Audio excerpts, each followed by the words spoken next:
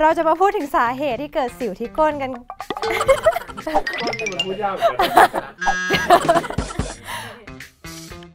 วัสดีค่ะ ก็กลับมาพบกับหนูดีและเยาวภัย รวบรวมเอาเคล็ดลับความสวยราคาประหยัดหาได้ง่าย ๆ ในครัวเรือนของทุกคนเบื่อหนูกันหรือยังอย่าเพิ่งเบื่อนะคะว่าวันนี้เนี่ยมีเคล็ดลับดีๆมาฝากทุกคนจะพูดกันถึงเรื่องสิวสิวอีกแล้วใช่ไหมทุกคน แต่ว่าวันนี้มันเป็นสิวสิวที่ก้นค่ะ ใครเป็นอยู่บ้างถ้าเป็นยกมือเลย แล้วต้องดูคลิปนี้ให้จบช่วงเนี้ยการไปทะเลใช่ไหมเราต้องมีการแบบใส่บิกินี่อะไรอย่างนี้ใช่ปะแล้วก็มีแบบ ใส่กางเกงเว้าแล้วก็เห็นก้นนิดๆอะไรอย่างเงี้ยมันก็เป็นเทรนด์เนาะเราต้องถ่ายรูปลงไอจีอะไรอย่างเงี้ยสำคัญมากก้นเราจะต้องดูเรียบเนียน แล้วก็ดูไม่มีสิวไม่มีขนคุดนะคะ จะมีเคล็ดลับการรักษาสิวที่ก้นแล้วก็รอยด้าน รอยดำรอยด่างต่างๆ ที่เกิดที่ก้นของเรามาฝากทุกคน เราจะมาพูดถึงสาเหตุที่เกิดสิวที่ก้นกันก็นี่มันพูดยากเหมือนกัน สาเหตุหลักๆ ในการเกิดสิวนั่นก็คือ การอุดตันของรูขุมขนพอมันอุดตันก็จะอักเสบ เกิดสิวเชื้อราขนคุดใครมีขนคุดบ้างสารภาพมาตอนที่ดีค่ะ แล้วก็การแพ้นะไม่ว่าจะเป็นยาบางชนิดหรือว่าผลิตภัณฑ์ที่เราใช้อยู่นะเราอาจจะแพ้แชมพูที่เราใช้อยู่ก็เป็นได้นะ อย่างเช่นเวลาที่เราสระผมฟองมันก็ไหลลงไป อาจจะไปโดนก้นเราแล้วเราอาจจะล้างไม่สะอาดนะที่สำคัญอีกอย่างหนึ่งนะคะ นั่นก็คือการอับชื้นของกางเกงในของเรานะคะ ก็ปัญหาทั้งหมดทั้งมวลนี้นะคะ ทุกคนไม่ต้องเครียดไปค่ะ มี 2 สูตรมาฝากทุกคนเลยนะคะสูตรแรกก็จะมีแค่ 2 อย่างเท่านั้นนะคะ นั่นก็คือเกลือกับมะขามเปียกค่ะ ผสมให้ดูกันเลยนะ ใช้ส่วนผสมแบบเท่า ๆกันแล้วประมาณ 2 ช้อนเพราะว่าก้นเราไม่ได้ใหญ่เนาะก็ไม่ต้องใช้เยอะ ถ้าใครก้นใหญ่ก็ตักไปเลยค่ะ 3-4 ช้อน มะขามเปียกเท่ากันค่ะ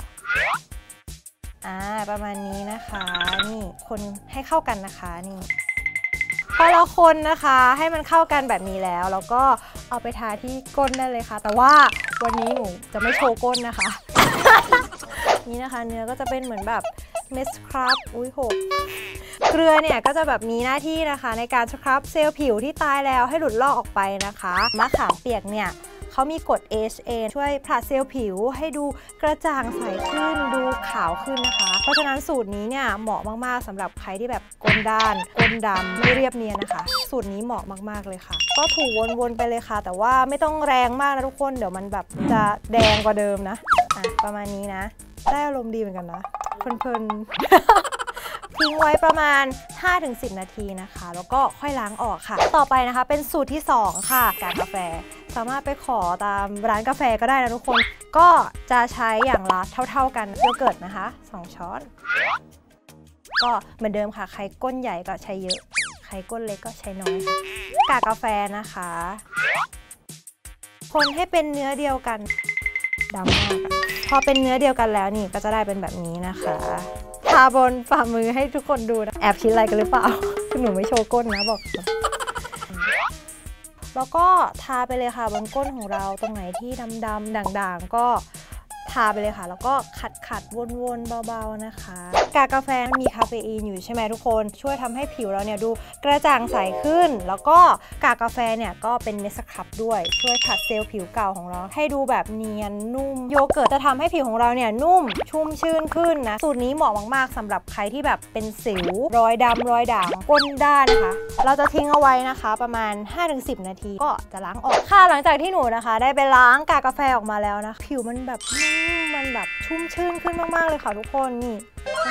ให้ความรู้สึกว่าแบบเซลล์ผิวเก่าของเราได้ตายจากไปแล้วนะคะ ขอย้ำนะคะทุกคนส่วนผสมที่หนูใช้ทั้งหมดเนี่ยเป็นส่วนผสมจากธรรมชาติ เพราะฉะนั้นต้องอย่าใจร้อนนะคะ อาจจะต้องใช้อาทิตย์ละ2-3ถึงครั้ง ก็จะทำให้ผิวของเราเนี่ยค่อย ๆ ดีขึ้น และนี่นะคะเป็นเคล็ดลับที่หนูนำมาฝากทุกคน ในสไตล์เยาวภาราคาถูกหาได้ง่ายๆใช้ได้จริงฝากติดตามด้วยนะคะใน b u g a b o o TV ค่ะ วันนี้ไปก่อนนะคะ